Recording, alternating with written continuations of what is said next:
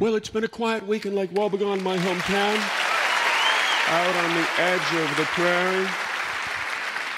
Thank goodness at least we got a little snow here this last week, so at least it's starting to look like winter. Not that it really is winter, it's not winter at all. I mean, you know, not winter by, by our standards. Uh, we who remember back when winter was winter.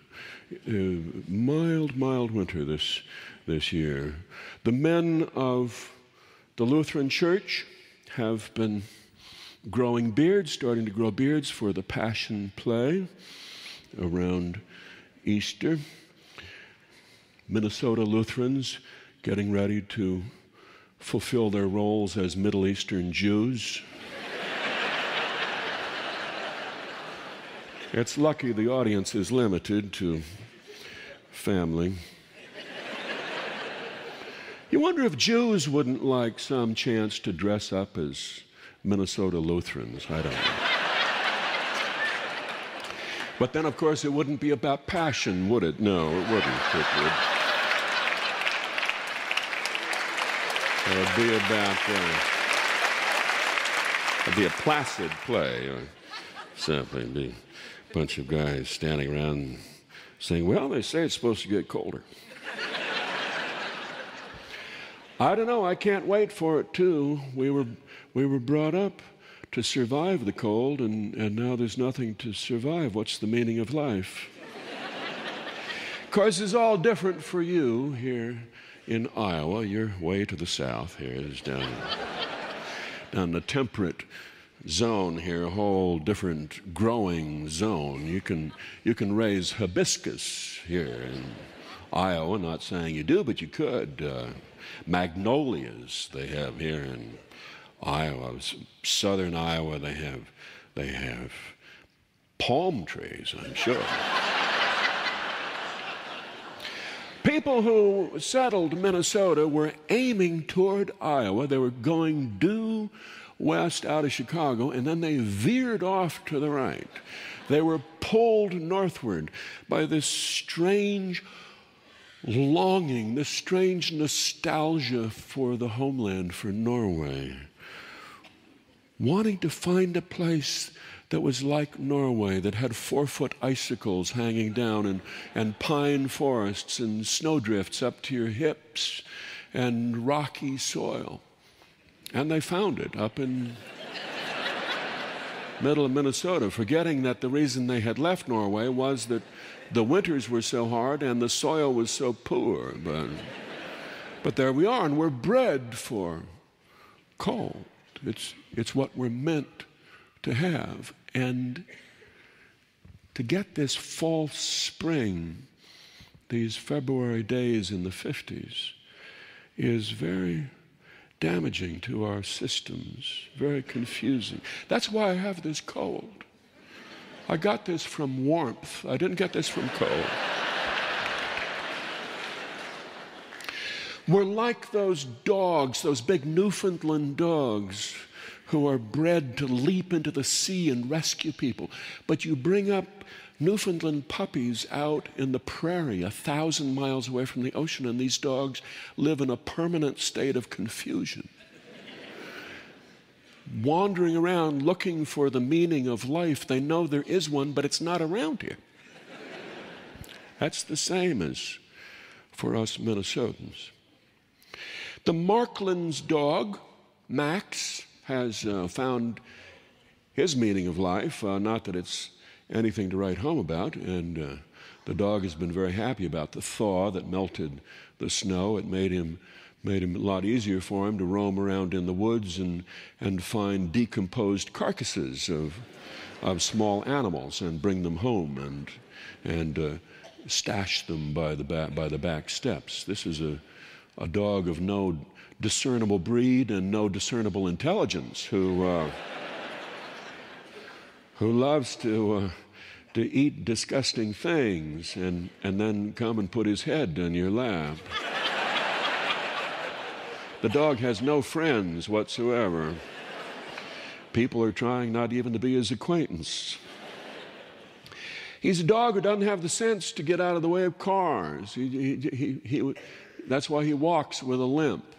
This big black dog walks with a bad limp as a result of, the, of a collision with a bread truck. And he didn't learn anything from it. Didn't learn to look both ways after that. I guess he just figured it was one of those crazy things. he is the grandson of the dog that Mr. Markland, DJ, had when he was in high school, and the dog who was the reason for DJ leaving Lake Wobegon and, well, as it turned out, coming to Iowa. He, um, all this whole line of, of mutts in the Markland family, they, they all had uh, similar predilections and uh, to go out in search of, you know, portions of squirrel and, and, and badger and, uh, you know, little bits of deer and bring them home and chew on them. And this dog, back when DJ was a teenager, this dog back in the mid 70s, fell into a slot bucket and he got stuck in it and he passed out. And DJ's mother called for the boy to come and rescue him. And the boy did, and she said, Give him mouth to mouth. And DJ did. He gave him mouth to snout respiration. And the dog recovered, but DJ never did. Somehow the taste of decomposed rabbit and, and owl feathers and, and chicken feet, it, he, he was never able to get rid of it, even after he downed a lot of mouthwash. He lost his appetite. He lived for almost a month on tapioca pudding and orange juice. And in a fast, he suddenly got clarity about his own life and what he wanted to do. And he decided that he wanted to be a writer. He was 19 years old. And he had just read Catcher in the Rye. And he wanted to become a writer. And he knew he had to go someplace else to do it. He couldn't do it in front of these people. These are not encouraging people. These are winter people. So he decided to move away and go to the Iowa Writers Workshop, which he'd heard about from an English teacher, the only person in town to whom he could confess his dream, which was to write a novel about a boy who runs away from a prep school and spends Christmas vacation in Manhattan. But unfortunately, the teacher gave him the wrong directions and told him to come to Ames, not to Iowa City. So he came. He came to Ames. He was glad to get out of town because when you have given mouth to snout resuscitation to a dog that eats off decomposed squirrel in a town like Lake Wobegon, you will never ever hear the end of it. This will follow you around tied to your tail for the rest of your life. Years later, you'll walk into the Chatterbox Cafe and sit down, have a coffee, and there'll be quiet. And then Carl will say, Well, DJ, didn't know I'd see you today. I was thinking about you earlier. Saw a badger by the roadside.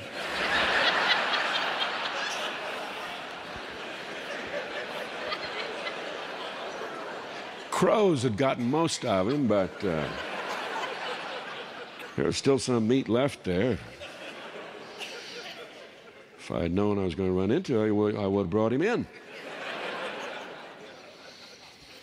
So he came to Ames. Get away from all that. All these people who can only remember the worst and most embarrassing things that have ever happened to. He came down to Ames and he rented a room and he put down a damage deposit and he got a postal box before he came over to the university to enroll in the Iowa Writers Workshop. and there found out that it, it wasn't here. There was none here.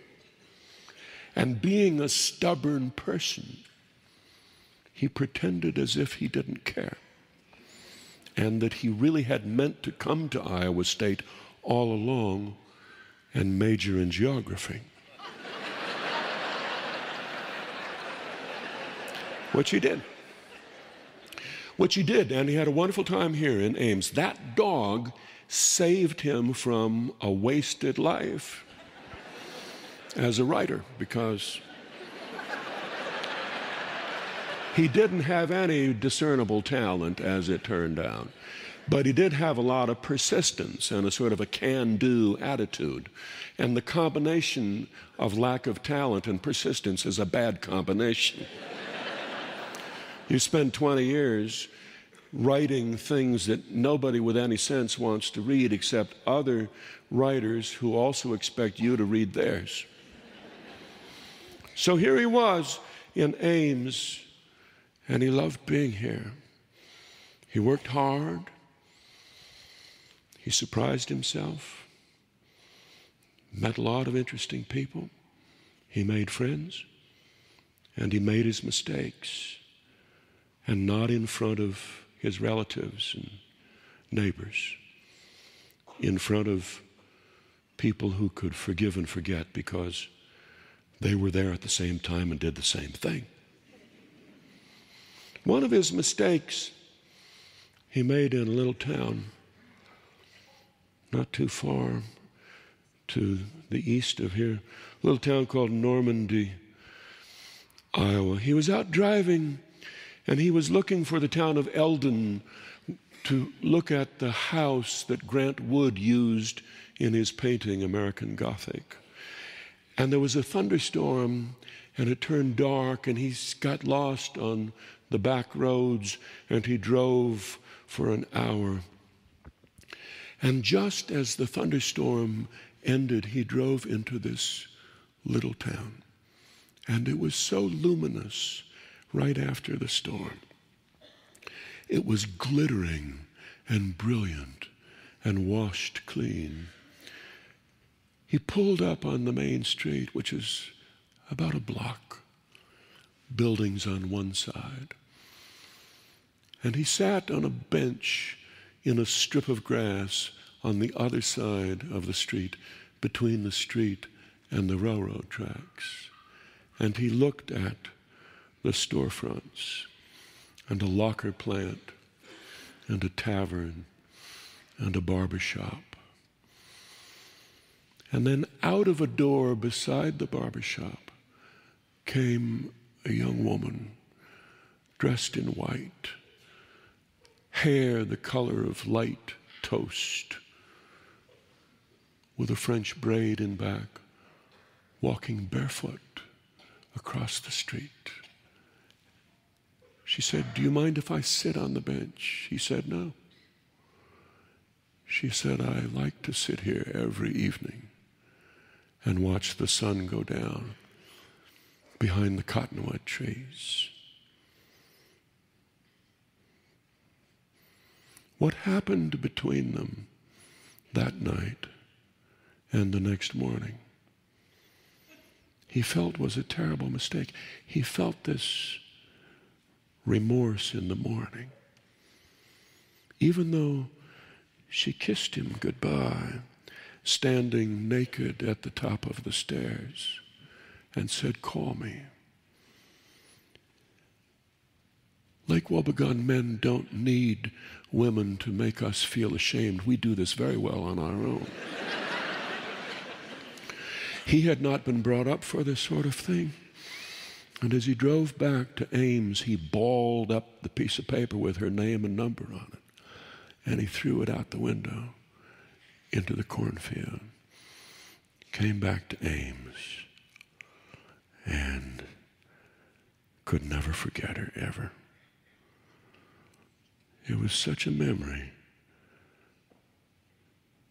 It's funny how months and years go by and you can't remember much of anything, it's like you drove through in the dark. And then one night, and you remember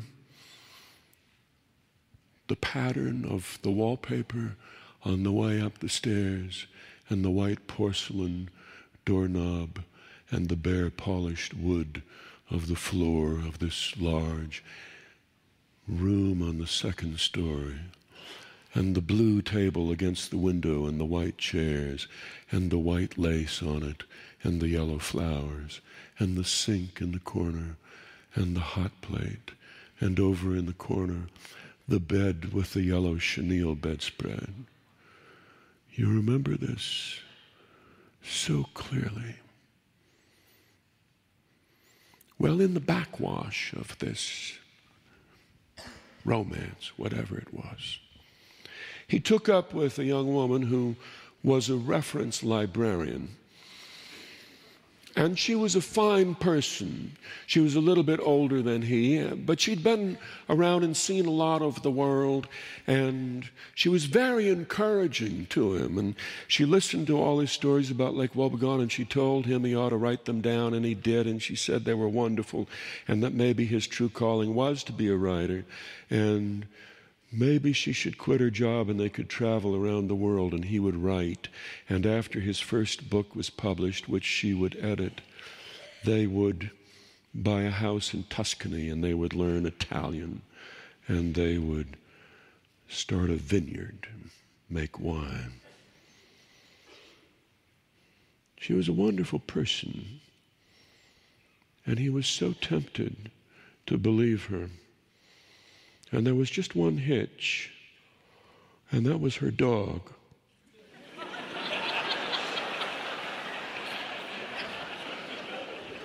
It was a little poofy white lap dog, a yippy little dog, whom he didn't particularly care for, but he was astonished to see it on her lap and then in their bed lying between them.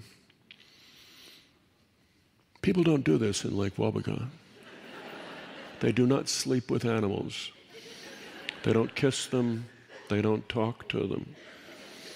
Anthropomorphism has not taken deep hold in Lake Wobegon. We still basically are farm people, even the ones who live in town. Our, far, our, our, our, fathers were farmers.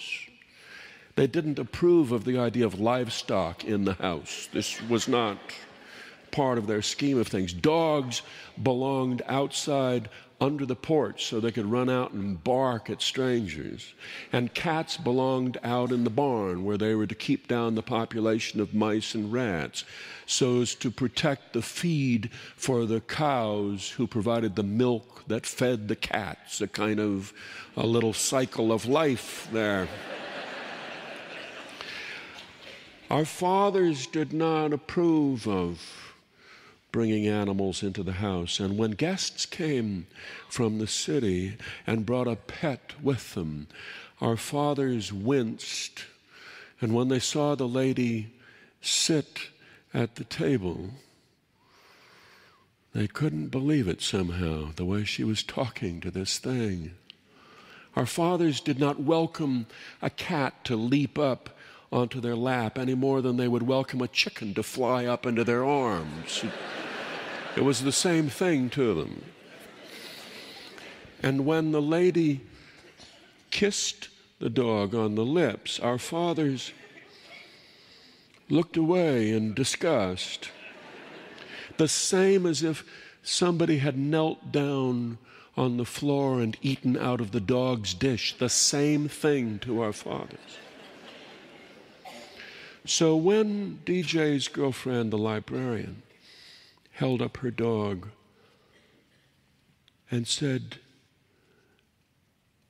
Give daddy a big kiss, Snuggums. and the dog puckered up. That was kind of a turning point for DJ. And it wasn't long after that that he moved out. One more bad marriage prevented. That's a that's what I call a real rescue dog.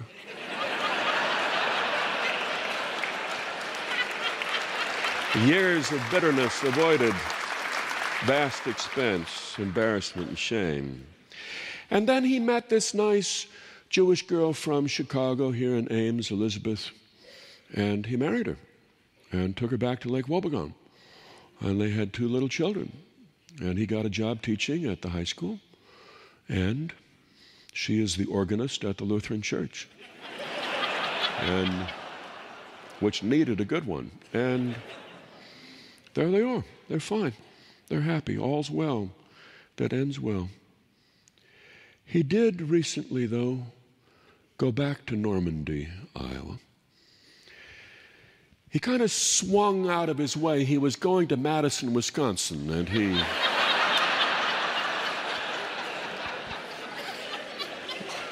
swung over to the west a little bit. He came down to Normandy, which had not changed much, and the strip of grass was there and the bench. And the same storefronts were there. The barber shop was still there, and the tavern.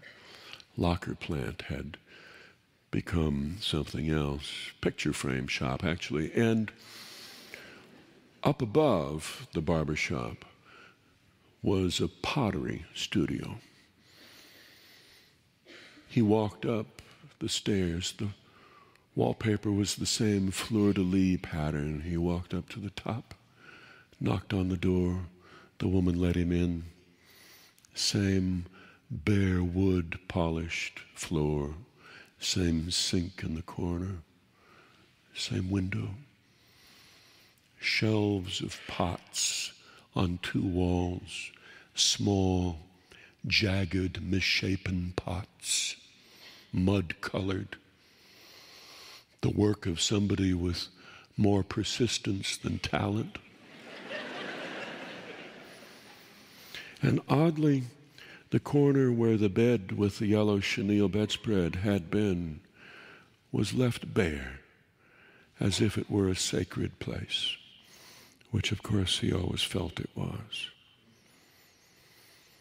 He went downstairs and went in the barber shop, sat down in a chair, asked for a little trim around the sides, nothing off the top, please. Asked the barber what happened to the woman who lived upstairs 20 years ago. Barbara said, Well, you know, I never knew her. She paid her rent every month. Nobody in town really knew her. Hardly ever left that room. People said she was a writer. I don't know. I guess she went out west. She never left a forwarding address. So he went back home. What do you do with a permanent memory? Well, you treasure it. That's what you do. You learn this when you get to be my age. You learn that you only have so many permanent memories, and they become precious to you. But it's mainly when you're younger that you can make permanent memories. So it's one of God's little jokes.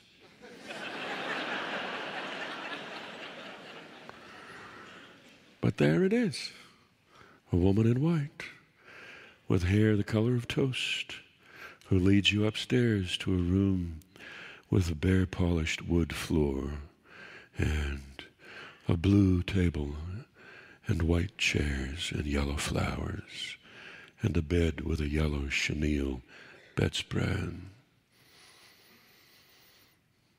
You need those things to keep yourself warm on winter nights if we do ever get winter nights. Again, that's the news from Lake Wobegon where all the women are strong, all the men are good looking, and all the children are above average.